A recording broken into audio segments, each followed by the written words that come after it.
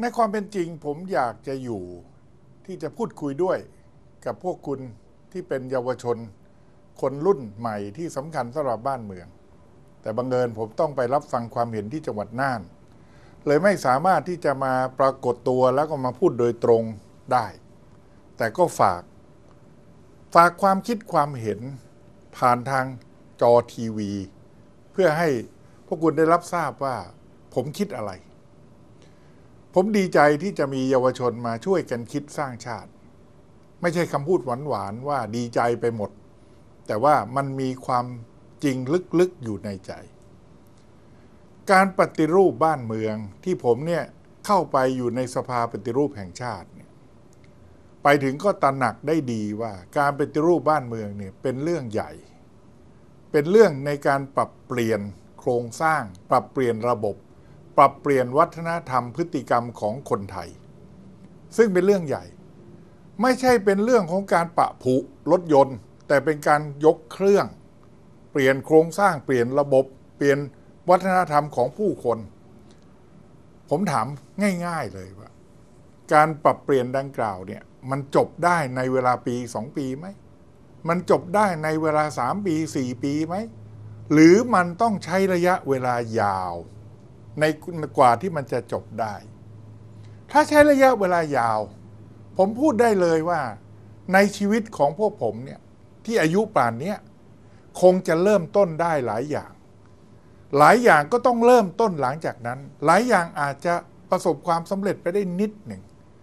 แต่เราจะต้องช่วยกันผลักดันปรับปรุงเปลี่ยนแปลงโครงสร้างเปลี่ยนแปลงระบบ เปลี่ยนแปลงวัฒนธรรม ซึ่งวัฒนธรรมแปลว่าความรู้สึกนึกคิด การกินอยู่หลับนอนของผู้คนโดยเฉพาะเรื่องความคิด เพราะฉะนั้น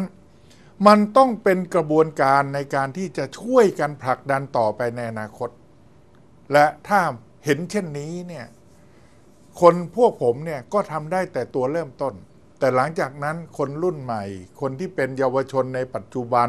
หรือคนหนุ่มคนสาว จะต้องช่วยกันขับเคลื่อนเปลี่ยนแปลงบ้านเมือง จะต้องหาจุดเปลี่ยนประเทศไทยให้ได้ ไม่ใช่เปลี่ยนอะไรเปรอะไปหมด แต่ทุกเรื่องเนี่ยจะต้องหาจุดคานงัดเป็นจุดเปลี่ยน เคยเห็นกระดานกระดกไหมล่ะ เราจะกระดกได้เนี่ยมันจะต้องมีจุดคานงัดใช่ไหมไอ้จุดคานงัดเนี่ยมันอยู่ตรงไหน ถ้าเราหาจุดคานงัดเจอ เราสามารถจะดีด สิ่งที่หนักอึ้งเนี่ยสามารถจะดีดได้สบายเลย แต่ประเด็นคือเราหาจุดเปลี่ยนจุดคานงัดนั้นเจอหรือเปล่า เราไม่ใช่ทำก็ได้คนเดียว เราต้องร่วมมือกัน โดยเฉพาะเยาวชนคนรุ่นใหม่จะต้อง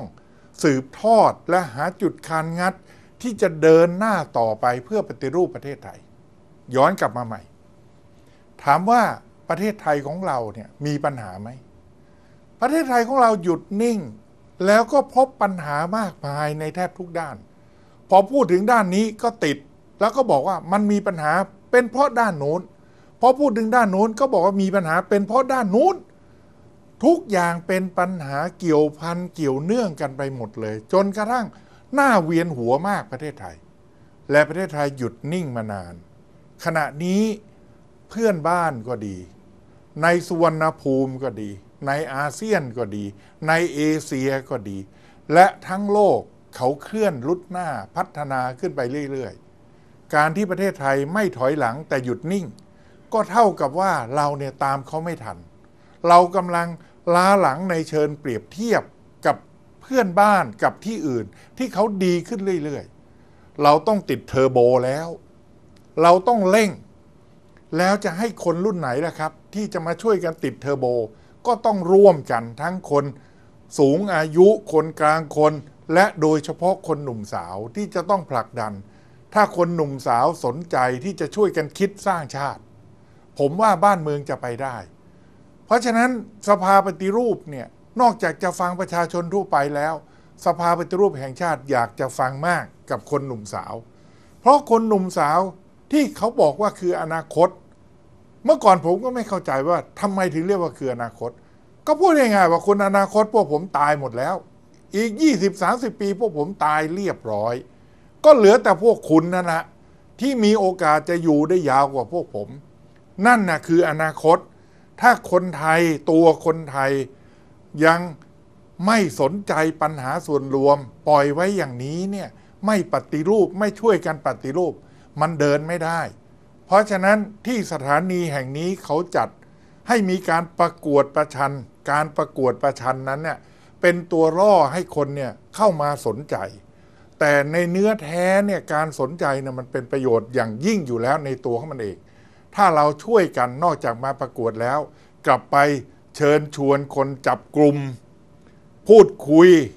ถกเถียง หรือประกวดประขันเป็นกลุ่มๆให้เต็มไปหมด เยาวชนทั้งหลายก็จะเริ่มสนใจปัญหาบ้านเมือง และในอนาคตนี่แหละครับของจริงในการปฏิรูป ไม่ใช่พวกผมที่ไปอยู่ในสภาปฏิรูป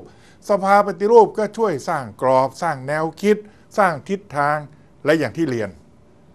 การปฏิรูปบ้านเมือง ไม่ใช่การปะผุรถยนต์ แต่เป็นการเปลี่ยนโครงสร้างยกเครื่องใหม่ เพราะฉะนั้นจะต้องปรับระบบ ปรับโครงสร้าง ปรับเปลี่ยนวัฒนธรรมของคนไทยให้ได้ ทุกวันนี้เราพูดกันว่าประเทศไทยทรัพยากรดีมาก สิ่งแวดล้อมทุกอย่างยังดีอยู่ เสียที่คน เสียที่มีคนไทยอยู่ในประเทศไทย มันเจ็บปวดรวดร้าวมาก ที่บอกว่าเสียตรงคนไทย เพราะฉะนั้นคนเนี่ยเนื้อหนังเนี่ยมันไม่เสียหรอก แต่มันเสียที่วิธีคิด เสียที่ความเห็นแก่ตัว เสียที่ความเห็นแก่ประโยชน์ส่วนตนและพักพวก มากกว่าประโยชน์ส่วนรวม เพราะฉะนั้นก็เลยมีระบบเล่นพักเล่นพวก ระบบอุปถัมภ์ระบบพึ่งพา เต็มบ้านเต็มเมืองไปหมด มันก็เป็นปัญหา สรุปต้องปรับระบบปรับโครงสร้างและปรับคนให้ได้ เราจึงจะต้องมาร่วมกันคิดสร้างชาติยังไงล่ะครับถ้างั้นวันหลังจะกลับมาเจอด้วยตัว วันนี้ขอไปก่อนแล้วกันนะครับ สวัสดีครับ